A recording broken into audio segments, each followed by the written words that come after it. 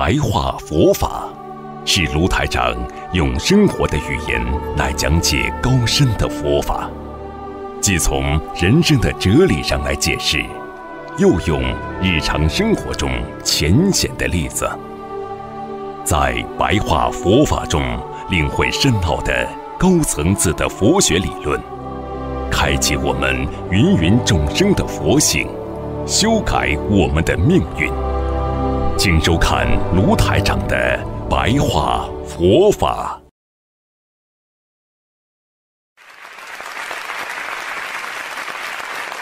好，今天师父继续跟大家讲白话佛法。其实学佛学到后来就是一个境界了，啊，因为境界呢你是看不见摸不着的，但是呢在你处理事情上。在你说什么话，啊，一句话讲出来，别人就知道你境界高和低了。所以有些人一出口，人家就看不起你了，因为你是自私的，所以别人就看不起你。境界高的人总是为别人想，所以境界高，境界的提升会让你啊谨守口业，啊，所以很多人啊知道自己境界还不高。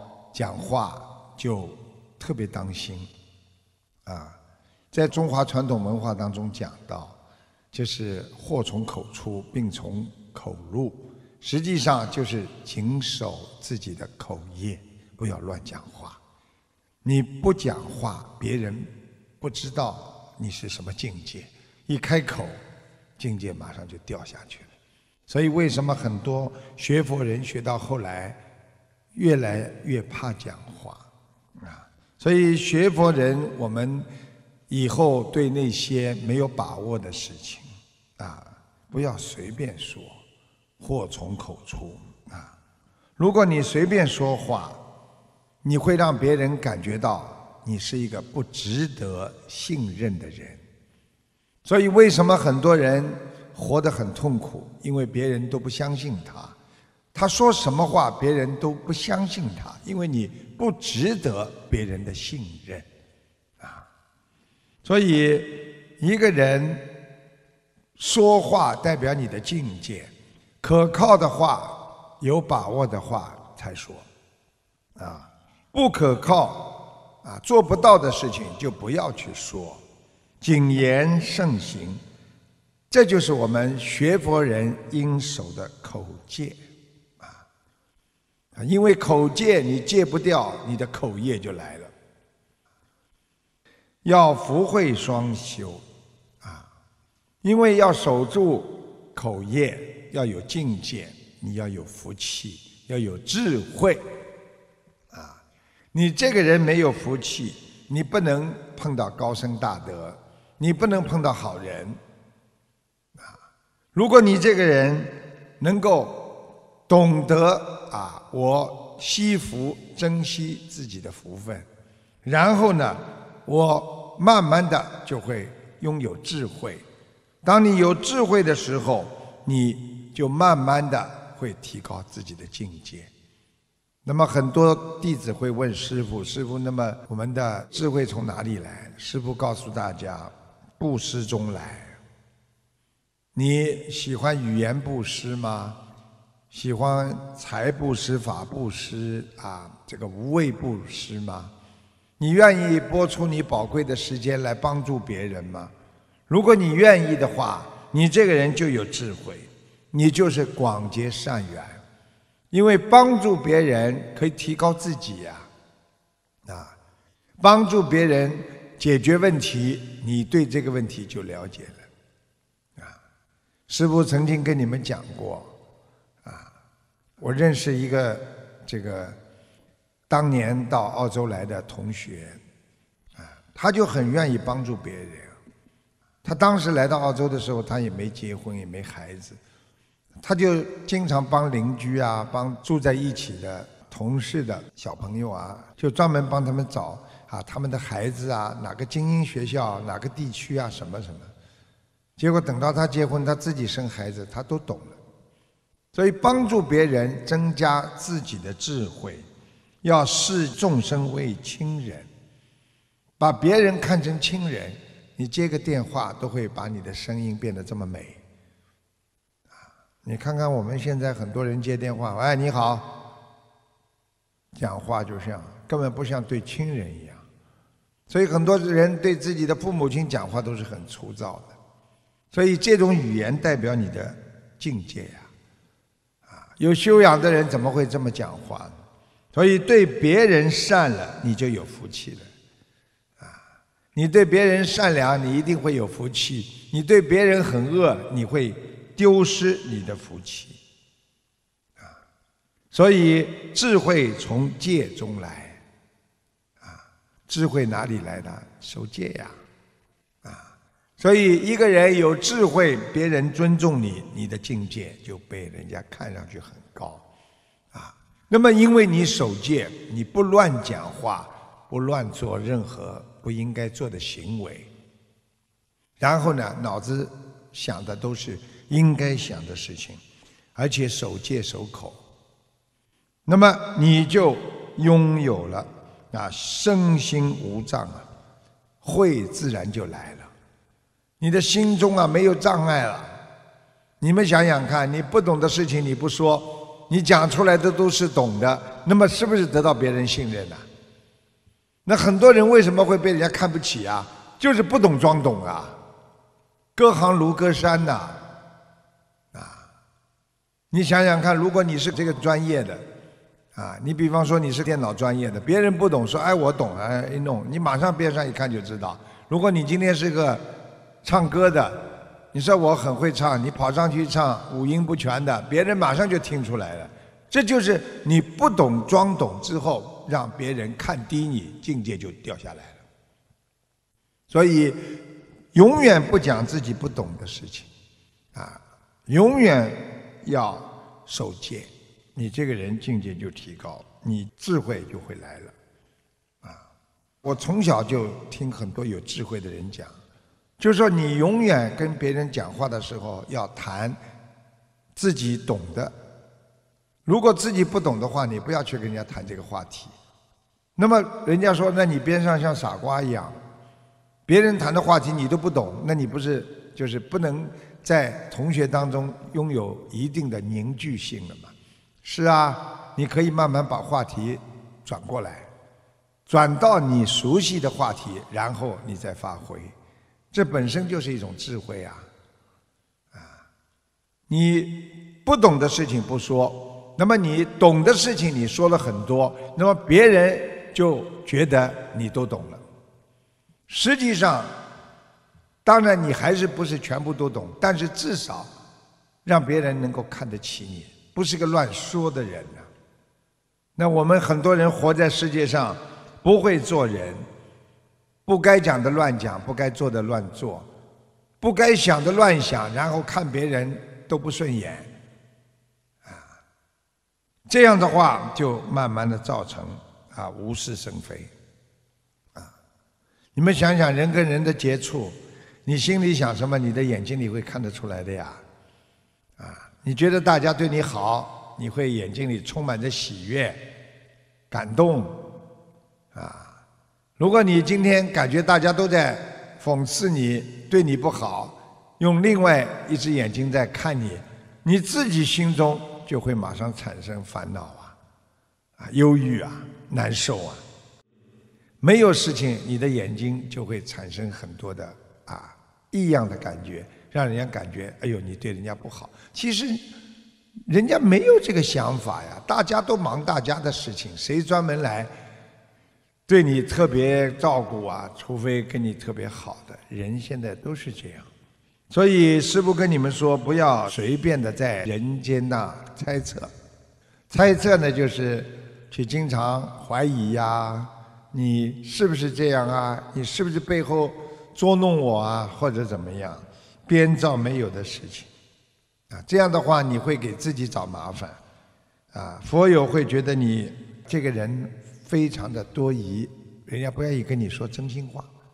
相反的话，你不去猜测别人，讲话实实在在，别人会觉得你很成熟，很有修养，啊，讲出来的话头头是道，懂的事情多讲一点，实际上他不可能什么都懂的呀，啊，所以这个就是师父跟你们说，一个修行人如果脱离了一种人间的低级趣味，也就是说，不要去整天的看着周围的环境而生活，不要去整天的随着别人的心情而活着，那你就是脱离了人世间的。低级趣味，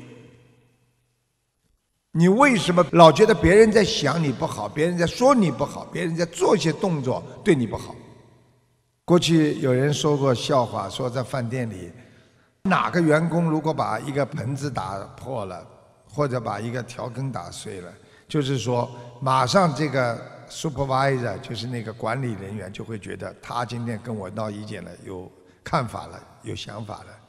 因为这种做领导的人，他特别敏感，啊，总是感觉别人对他有意见，因为他做出来的事情并不是如理如法，所以他就会感觉别人对他不好。这就是他自己心中没有脱离了那种低级的想法。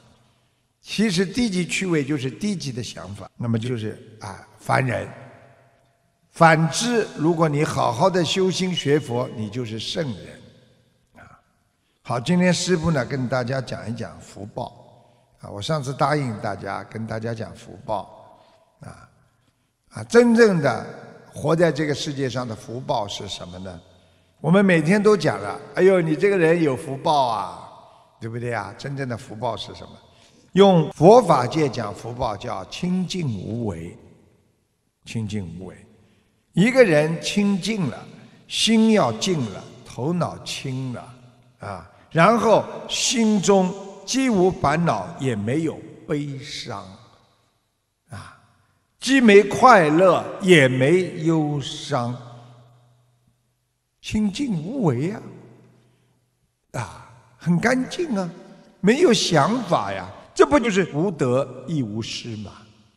啊，没有得到，也没失去啊，无得亦无失啊，我没有快乐，我也没有忧伤啊。因为快乐来了，我没感觉，所以我不会承受失去的忧伤。人家对你很好啊，你谢谢大家，谢谢别人，对不对啊？人家离你而去了，不理你了，你不会很忧伤的呀。啊，所以在这个世界上，真正学佛人没有悲伤，没有烦恼，没有忧伤，没有快乐，就是无得亦无失。啊就是没有什么人家侮辱你啊、难受啊、活着痛苦啊，没有什么感觉到我非常荣耀啦。大家你看都这么啊对着我看，哎呀，你看我多有感觉呀！你的心永远是平静的，非常平静啊。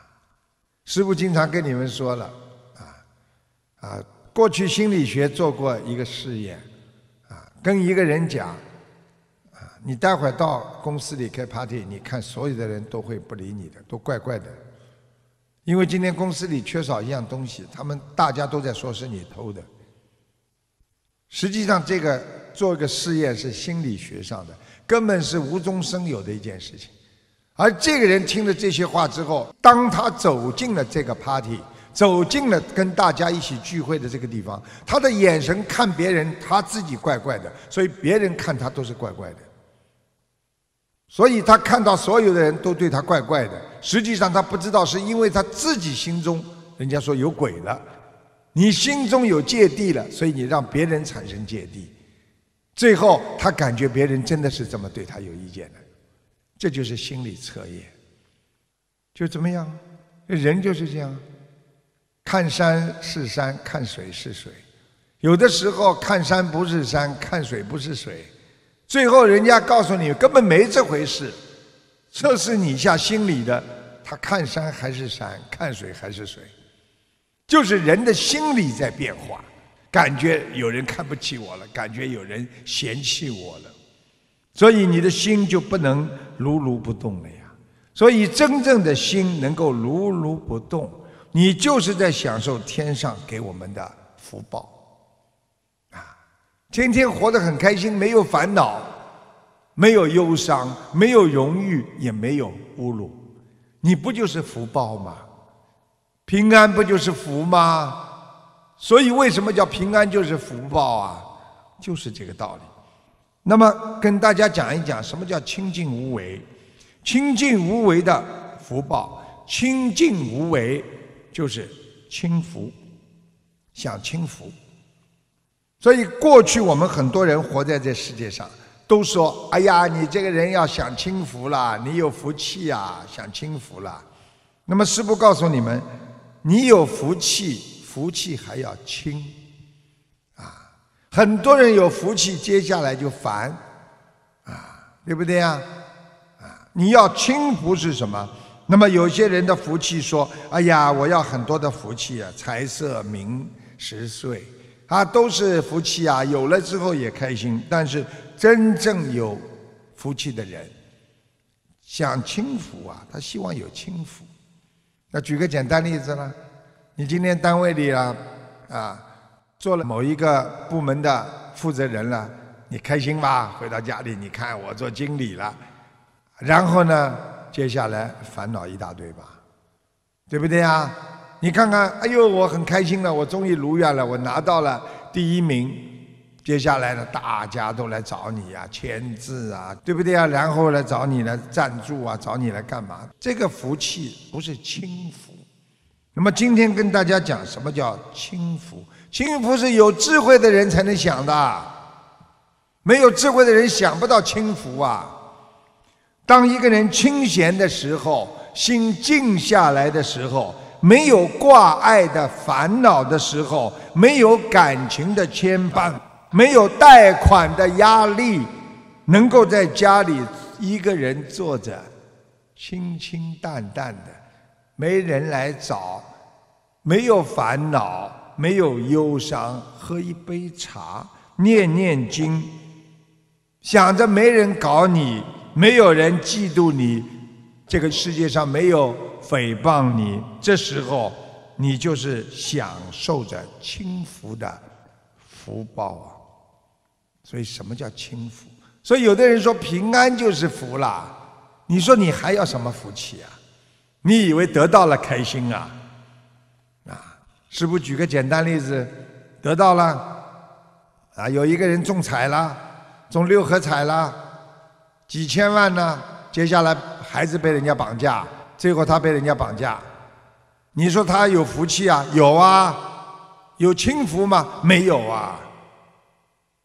你能够坐下来安安定定，没人讲你，没人搞你，自己知道自己哎，我没做错，念念经，一个人坐下来，哎呀，这个世界都是我的，我清净了，世界都静下来了，哎，这不是一花。一世界嘛，对不对呀？你这就是你自己享受的清净的环境，没人骚扰，一个人打坐的时候不就是轻浮吗？啊，完全没有电话，没有人来跟你讲话，没有人来烦你，你这个就是福报是非常大的。